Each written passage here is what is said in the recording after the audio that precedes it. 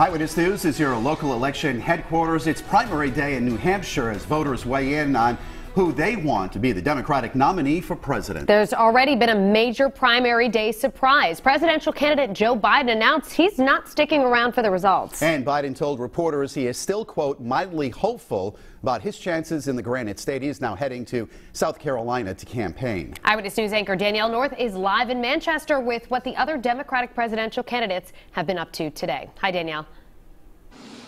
Well, good evening, Mike and Shannon. What a busy day today out on the campaign trail as we were seeing so many candidates out and about meeting with voters and supporters at multiple polling locations here in New Hampshire. And again, as you mentioned, after that surprise announcement from former Vice President Joe Biden that he was going to make an early exit from New Hampshire, well, all of the other Democratic presidential hopefuls were seizing the opportunity for a little extra traction after this primary day surprise.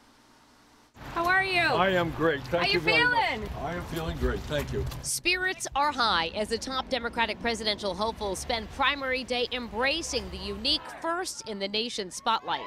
And this is Bongo. Hi, Bongo. Can I take a picture? Of course you can. Voters and supporters have been treated to close access with many of the um, presidential hopefuls, including at this polling spot in Nashua. Massachusetts Senator Elizabeth Warren spending a chunk of time chatting with voters and speaking out about Joe Biden's surprise exit from New Hampshire just hours before the polls even closed. Uh, I think it says that he's not here to fight for the votes in New Hampshire.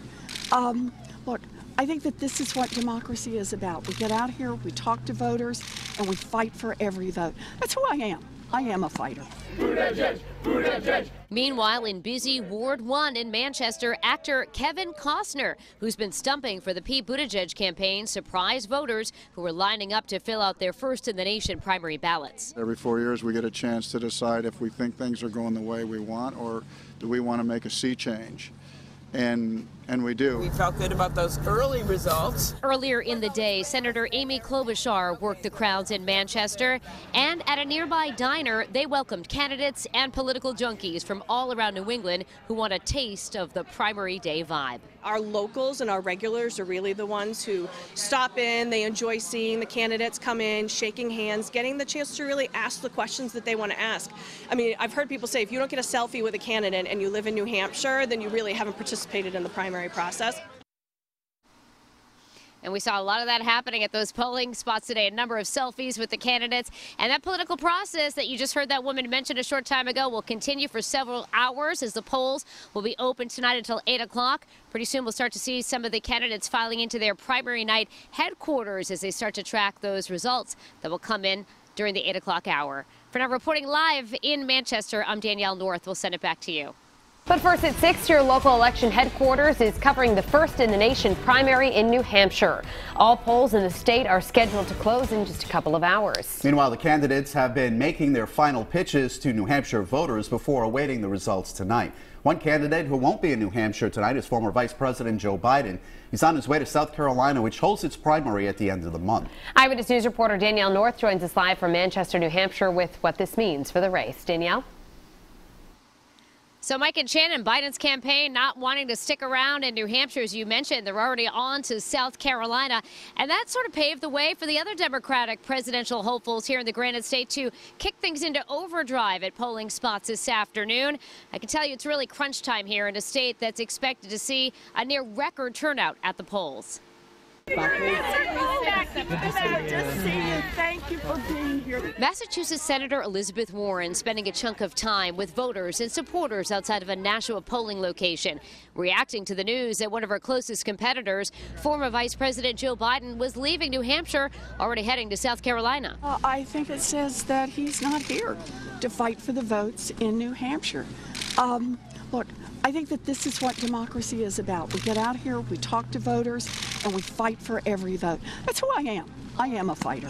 How are you? I am great. Thank you. How you you very feeling? much. I am feeling great. Thank you. Throughout the day, the Democratic presidential hopefuls visited the uniquely New England hotspots, including this Manchester diner. Our locals and our regulars are really the ones who stop in. They enjoy seeing the candidates come in, shaking hands, getting the chance to really ask the questions that they want to ask.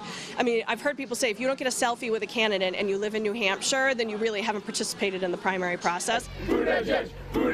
At busy Ward 1 in Manchester, candidates Pete Buttigieg and Senator Amy Klobuchar got an early start today, seizing the first in the nation's spotlight. Actor Kevin Costner made a quick surprise appearance, stumping for the Buttigieg campaign. I love our country. A lot of people, you know, on both sides feel the same. Uh, this is a, this is a this is a privilege we get every four years. With only hours left until the polls close, hundreds of campaign workers are just trying to finish strong. This is my first time in the New Hampshire primary, and I'm having such a blast. The folks are so engaged. It's so much fun.